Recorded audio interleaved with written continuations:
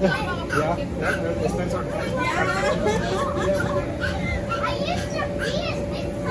All right, against the new side.